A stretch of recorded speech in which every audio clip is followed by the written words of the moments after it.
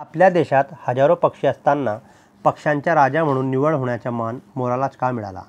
अशी शंका अनेकांच्या मनात आली असेल. राष्ट्रीय पक्षी म्हणून भारत सरकारने मोर या पक्षाला मान्यता दिली. थोड़ा सा इतिहास. हमारे मुल्क में हज़ारों परिंदे हैं। तो बहुत से लोग ये सोचेंगे कि मोर को परिंदों का बादशाह मुंतखब होने का एजाज़ क्यों मिला? मोर को हिंदुस्तानी हुकूमत की जानिब से कौमी परिंदे के तौर पर तस्लीम किए जाने की एक तवील तारीख आहे काही वर्षापूर्वी जपान देशातील टोकियो या शहरात पक्षी संरक्षणविषयी विचार करण्यासाठी जगातील सर्व देशांचे प्रतिनिधी जमले होते.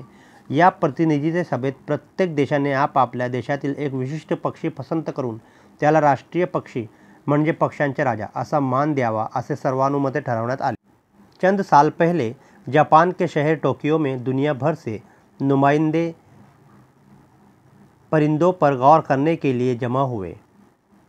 मंदोबैन के इजलास में मुतफ़ा तौर पर फ़ैसला किया गया कि हर मुल्क अपने मुल्क से एक मखसूस परिंदे का इंतखब करे और इसे कौमी परिंदे यानी परिंदों का बादशाह के तौर पर इज़्ज़त दे।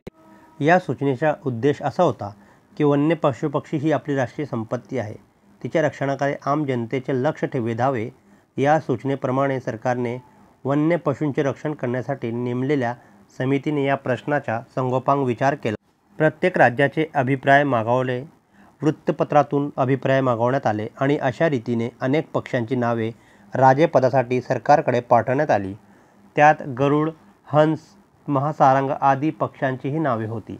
अनेक पक्ष्यांच्या नावातून एक नाव निवडण्यासाठी अनेक कसोट्या लावण्यात आल्या. त्या सर्व कसोट्यात मोर उत्तीर्ण झाला आणि राष्ट्रीय पक्षी त्याची निवड आली. इस तजवीज़ का मकसद? आवाम की तवज्जो इसकी हकीकत की तरफ़ मबजूल कराना था कि जंगली हयात हमारा कौमी असासा है और इसका तहफ़ है। हर रियासत से राय तलब की गई और इस तरह कई परिंदों के नाम हुकूमत को रॉयल्टी के लिए भेजे गए। इस पर अखबार से उकाब हंस, महासारंग और दिगर परिंदों के नाम भी थे। बहुत से परिंदों के नाम में से एक नाम मुंतखब करने के लिए कई परिंदे लगाए गए थे। मोर ने तमाम इम्तहान पास कर लिए और कौमी परिंदा मुंतखब हो गया। या कसोट्या लावताना ऐतिहासिक प्रणाली, काव्याची पार्श्वभूमी, लोकांची आवड इत्यादी बाह्य कारणाबरोबरच रंग शरीरसौष्ठव कलात्मकता कंठस्वर आदी पक्षी वैशिष्ट्यांचाही विचार करण्यात आला. राष्ट्रीय पक्षी हा मानाचा किताब देण्यास मोर हाच पक्षी योग्य असे ठरवण्यात आले.